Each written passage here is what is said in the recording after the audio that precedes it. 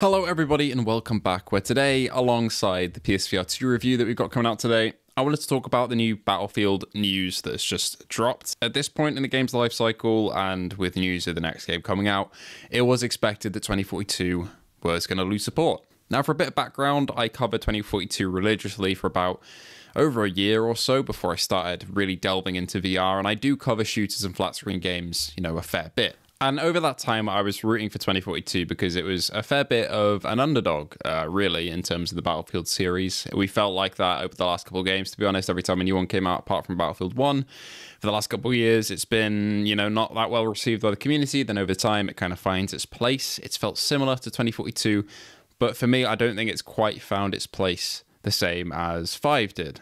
But the point is, for today, 2042 has been announced that they're no longer bringing any more content to the game after 7.2, which is when the Hourglass kind of rework comes uh, for the stadium. I would have liked a bigger bang for the game to go out on, to be honest. I am a little disappointed, um, but the content has really been a trickle, to be honest, over the last couple of months. So I'm not surprised, but I would have liked, you know, a bit more uh, of a kickstart to uh, the end of the game's life cycle than what we actually got. Anyway, let's head into the statement from EA directly and talk about that. They state when Battlefield 2042 launched, we promised to bring four seasons of content to the game. That's true. That's what they advertised when the game came out in the season bundle, essentially. That's all they were contractually obligated to make. And they say, as our seasons continued, the feedback we received made it clear your appetite for more 2042 remained strong. We took the opportunity to evolve the game to make it even better for you and continue to learn valuable lessons for our own developmental processes. Last month, we released the seventh season of 2042, Turning Point, which added an intense new urban map set in Chile, as well as several weapons and new gadget, and a revamped map based on the stadium location from Hourglass, two themed events, and a new weapon and vehicle to come.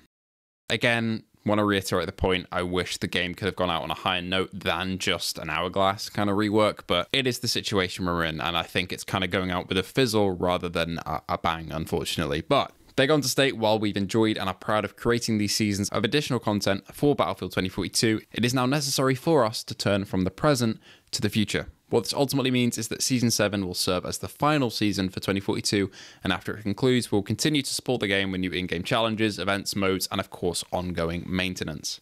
But we are moving away from delivering official seasons. Now, that sort of support once the game is dropped in terms of in-game challenges i'm assuming will be like bf5 where your orders are kind of on a rotation a bit. They're randomized but they'll be the same challenges so the devs don't really have to worry about doing real new ones every week. Events as well i'm assuming will just be recycled old ones. They're fun modes but it's going to be nothing new.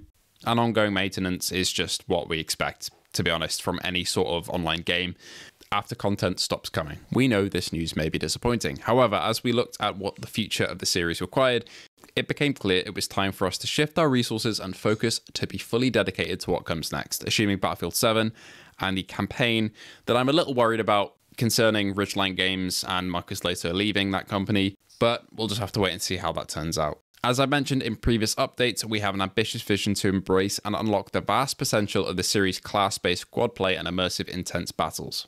That is a good sign for me. Classes are coming back properly in the next entry, I assume, and they're focusing on immersion and intensity, which is exactly what we need. 2042, I think, was a good game. I enjoyed it.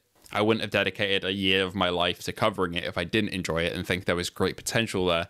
But the baseline core mechanics and some baseline animations and the actual player controller, among other things, did not feel very grounded and gritty in points and I'm excited to see how Battlefield 7 really covers that and improves it. They continue. To that end, Motive Studio, the talented developers known most recently for their work on the critically acclaimed remake of Dead Space and Star Wars Squadrons, are building a team focused on Battlefield at their studio. We're tremendously excited for Motive as they are bringing their expertise with Frostbite and compelling storytelling to the fold, joining DICE, Criterion, and Ripple Effect in building a Battlefield universe connected across multiplayer experiences and single player. What's interesting there is that obviously they don't mention Ridgeline, which kind of sucks. We know that's been dissolved to that studio now. It's been absorbed by some of the other ones like Ripple Effect. Um, but it's just kind of, I don't know, it feels a little weird not having Ridgeline mentioned at all for all their hard work over the last couple of years. They're just kind of thrown out there a bit.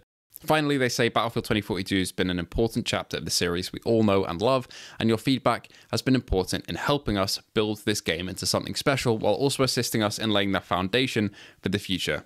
Battlefield is an experience that is defined by the passion of its community as much as its team driven tactics and explosive battles, and I look forward to the day that we can tell you more about what's coming next. I'm assuming this will be radio silence now for a good few months to a year, maybe, something like that. And yeah, I'm really not sure about this whole announcement. I mean, I saw it coming, but it seems like it's going to be a bit of a dead zone between now and the next game. Best of luck to the team, though. I'm sure they're going to pull something good off uh, for the next title. And the fact that Motive are now working on the next game also gives me a bit of hope. They're a really, really good studio. But it also does feel a little bit sour hearing that the Battlefield team is expanding after they just shut down Ridgeline Games because they didn't want to expand the team that much. It feels very, very strange. This whole thing also kind of puts into perspective uh, for me as a creative as well, um, because I know a lot of other Battlefield creators out there who kind of don't put their entire livelihood on this game, but do make income from it. They make revenue from it in terms of content creation and videos. Um, and it's just I can't imagine what an announcement like this is like when you rely on a game to generate a community and an audience and to keep interest, especially for this big 1.5 year gap potentially until the next release, to try and keep people interested with 2042 and with speculation about the next game. That's got to be incredibly tough. Luckily, we've built an incredible VR community here since I started doing Battlefield, even though there are a couple people still here to enjoy the Battlefield content and flat screen content, which I'm massively appreciative of. But without that, I'd be in the same position, and I just feel for the creators who are now kind of stuck without anything to talk about. That bit of perspective is all I've really got to say about that. So I, I really feel for the other creators who who are now going to struggle for a bit of content. I'm very mixed on this news. Is my final point really. It's been slow since the launch, really, in terms of content, but at least there was something new every couple of months for the new seasons, and now there's going to be nothing for the best part of maybe two years. And ultimately, I am just a little deflated by hearing all of this. This is probably the last time I'll ever speak about Battlefield 2042 in a video, so I will just say that the game was very enjoyable. I put almost a thousand hours into it, and if it wasn't fun, then I wouldn't have done so. I am disappointed that this is where we've ended up, but I can't say I'm surprised. And I wish the Battlefield team all the best for the next title. I will be there, I will be playing, and I will be excited. I'll be caught up in that hype train again, and hopefully, we're ending up with a good product at launch next time. Thank you all for watching. Thank you to our patrons as well Luke Bentley, Phil Irving, Haseet Mirza, and Ace Gamer. If you want to join the Patreon or YouTube membership, the links are in the description below. If you want to join the Discord, the links are also down below as well. I look forward to delivering more VR content for you guys to enjoy in the future and a bit of flat screen here and there as well. So thank you for joining me today in covering this kind of depressing news. But again, thank you all, and I'll see you in the next one.